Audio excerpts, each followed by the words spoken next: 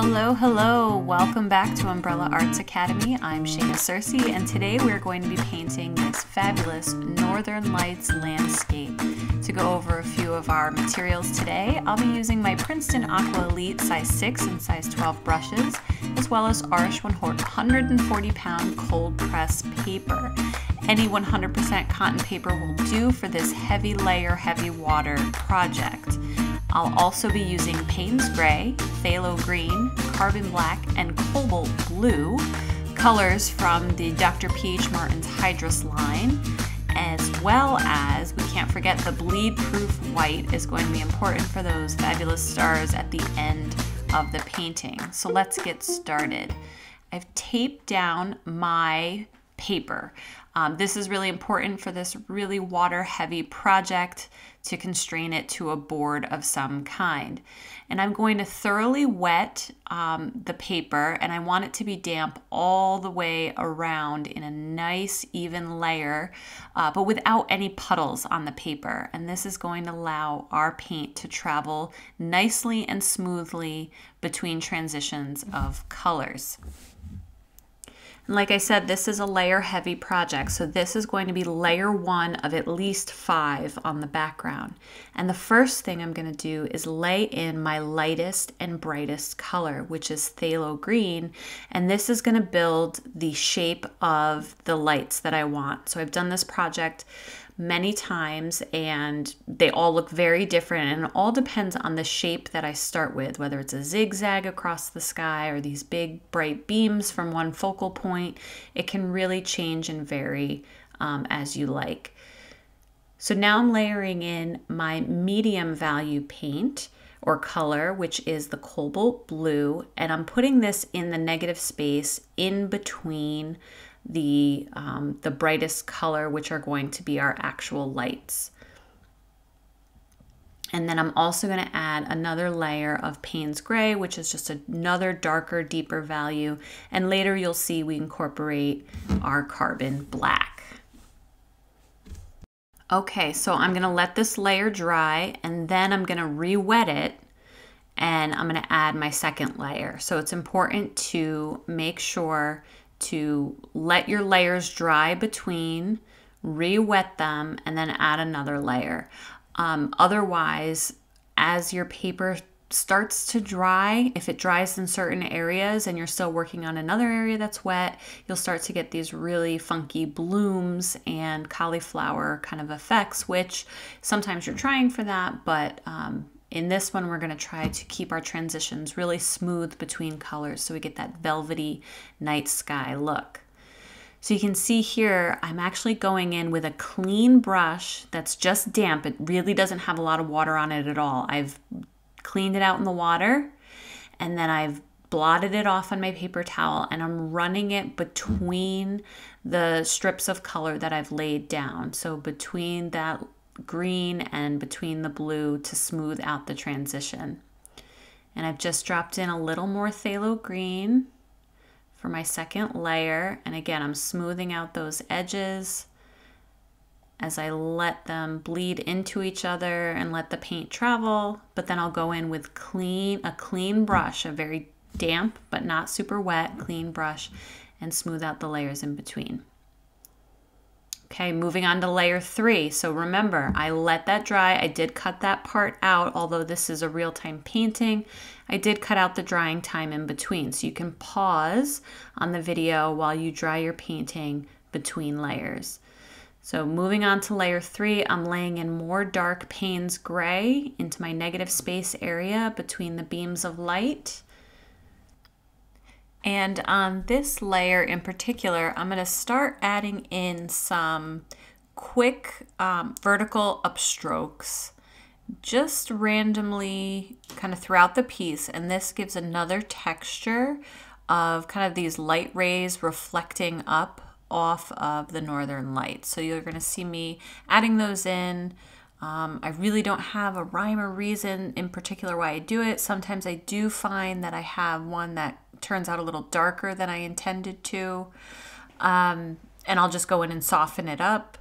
but it's a clean brush, sometimes with just a little bit of water on it or a little dampness, and I'm just using the paint that's already on the paper and pulling that up or down um, kind of through the piece.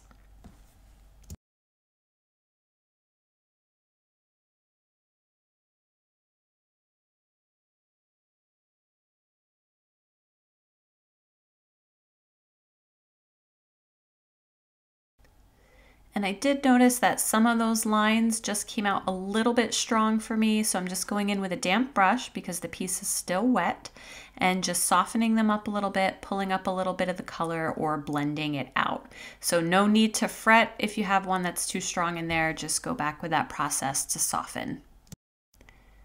Okay, once again, I'm gonna let that layer completely dry and then I'm gonna go back again and re-wet the entire painting in order to add in layer number four.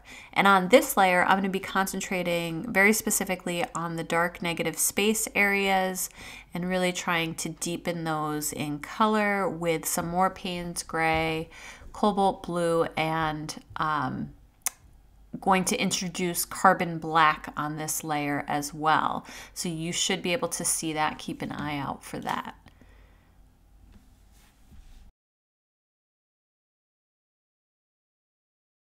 So all my supplies are linked in the description. I know I introduced you to them at the beginning of this video, but if you need a refresher or are looking for um, links to these specific materials, you can find my brushes, the paint colors, as well as um, the paper um, in the description, either in the YouTube video or on Facebook, wherever you're finding this particular tutorial video. So here comes the carbon black. You can see this is really gonna start to deepen and darken those areas. And the darker our negative space goes, the brighter our light beams or the positive space that phthalo blue and cobalt blue areas start to become. And I'm staying with the general shape that I first started with, but you can see I'm making some minor adjustments as I go. Mm. And I did find that this bottom section got a little too low to the bottom of the painting of where I'm going to eventually lay in the mountains. Um, so I just used a little kitchen paper, a little paper towel, and blotted a little bit of that up. It's totally fine that some of that area has a little paint in it still. I'm not worried about that because we're going to put a dark color at the top there. And my next step, my next um, step in this, I'm going to let this dry and then I'm going to start working in the mountain range at the bottom where you can see I've left it um, pretty white so we're going to let that dry while I lay in these mountains. And basically I'm going to follow this leading line across the top of the mountain ridge. And I'm going to use these short kind of choppy strokes with the side or the belly of my brush right along that line at a slanted angle, giving the suggestion of the face or faces of this mountain ridge. And I'm laying that in with a mix of Payne's Gray and Cobalt Blue. So it's just a slightly different um, color but using the colors from the sky um, than we've used before. And then I'm just taking a little bit of water on my brush and barely touching the bottom of the area where I laid in paint and blending that out. And you can see I have a much lighter color um, as I blend it out, giving that mountain range some texture and depth and variation and we're gonna let it all dry once again. And isn't it crazy how light those layers get in between drying periods and times, especially when we don't see it gradually and I cut that drying time out and you see it all in one shift.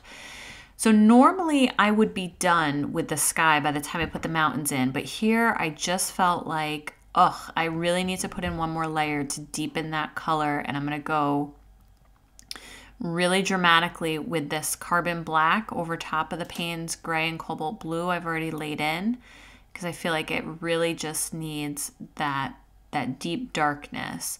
And I'm going to go back through with my other colors too, my phthalo green and just lay in a nice thick layer of that and a little bit a little bit of cobalt blue too to add um, some beautiful color variation to the sky and I'm gonna let that bleed and dry um, after I blend them together a little bit. And I'm using these upstrokes with a clean brush. So I'm going through, rinsing my brush off, making sure it's not really wet, just a little bit damp.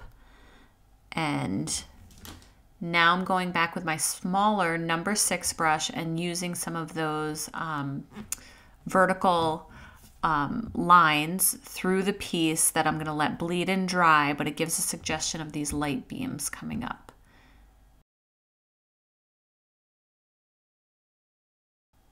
And here we go, one more round of drying.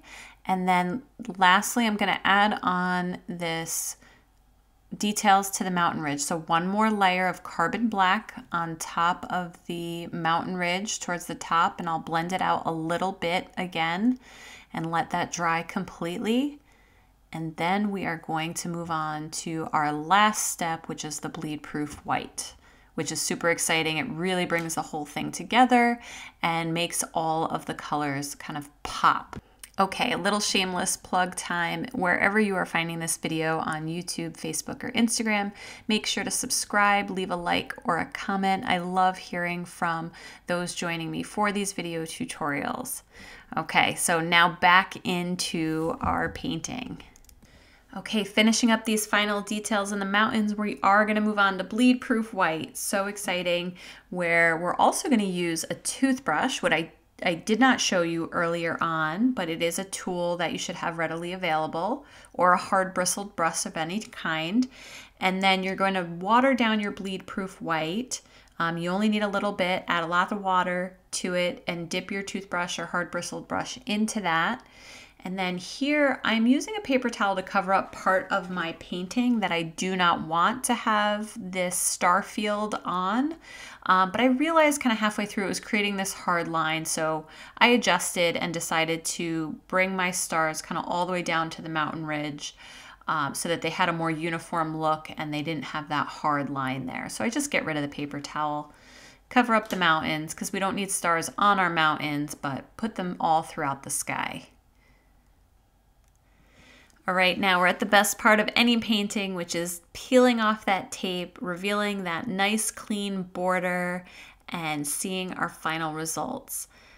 Wow, that bleed proof white really does make the other colors pop. Those blacks look really deep and rich and black, and the phthalo green and cobalt blue are quite vibrant and rich.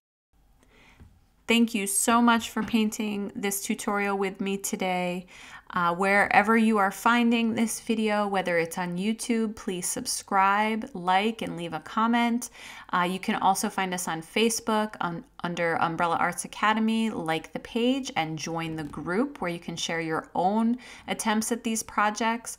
And also follow our account on Instagram, Umbrella Arts Academy. I'm Shana Circe. Thank you so much, and I hope to see you again soon.